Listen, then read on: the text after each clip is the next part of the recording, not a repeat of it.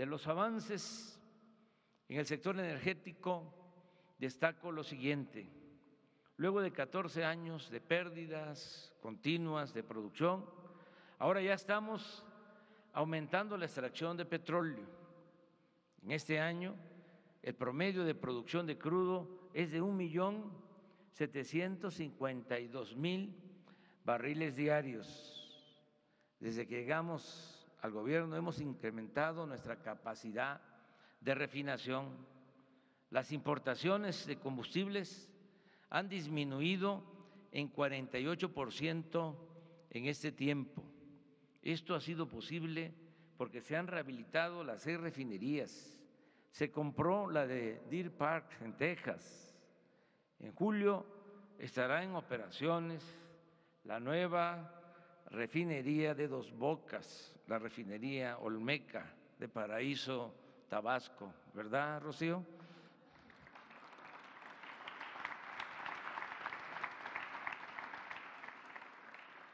y con la terminación de la coquizadora de Tula, el año próximo seremos autosuficientes en gasolinas, diésel y turbocina.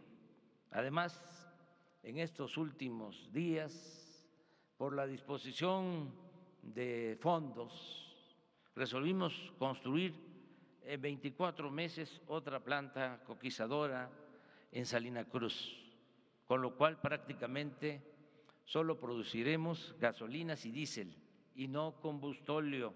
Así obtendremos mayor rentabilidad económica y reduciremos las emisiones contaminantes.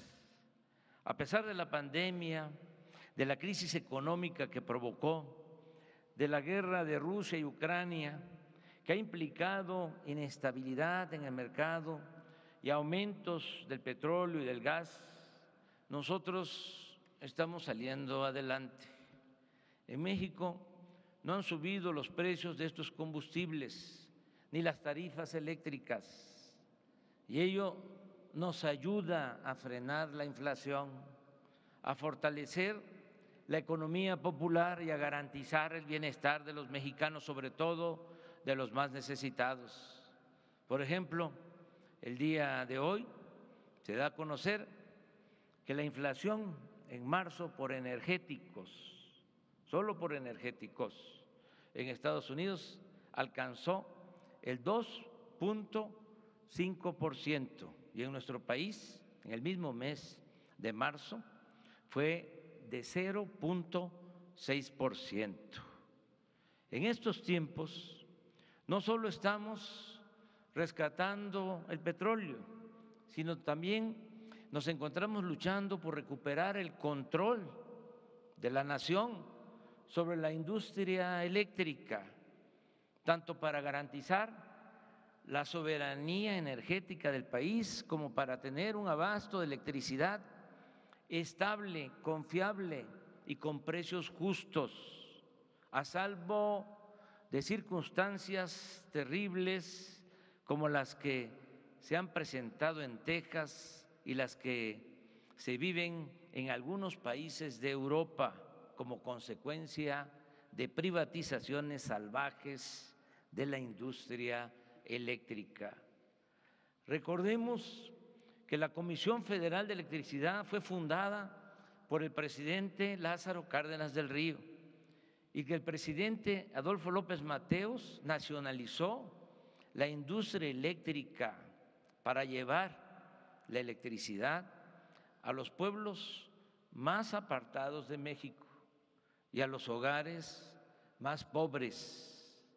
Esos lugares y esos hogares que las empresas privadas a las empresas privadas no les interesa atender y que se verían incapacitados para pagar el recibo de la luz si continuara imperando el afán empresarial de lucro y de ganancia y no el servicio en beneficio del pueblo.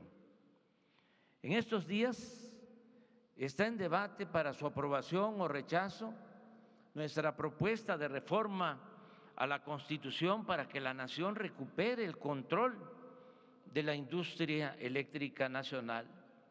Son tiempos de definición y sin medias tintas los legisladores tendrán que decidir si se colocan como defensores de los intereses de las empresas particulares nacionales y fundamentalmente extranjeras o si optan en los hechos por ser auténticos representantes del pueblo y de la nación.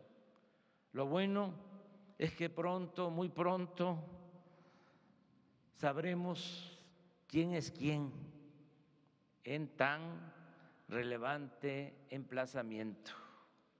Creo que el domingo próximo se sabrá. Además, es importante que se conozca que ya nos protegimos en caso de una traición. Esto es trascendente para que haya tranquilidad en nuestro pueblo. Si hay una traición, ya estamos protegidos. Hace unos días la Suprema Corte de Justicia de la Nación declaró constitucional la ley de la industria eléctrica que inicialmente propusimos y que aprobó el Congreso para cancelar la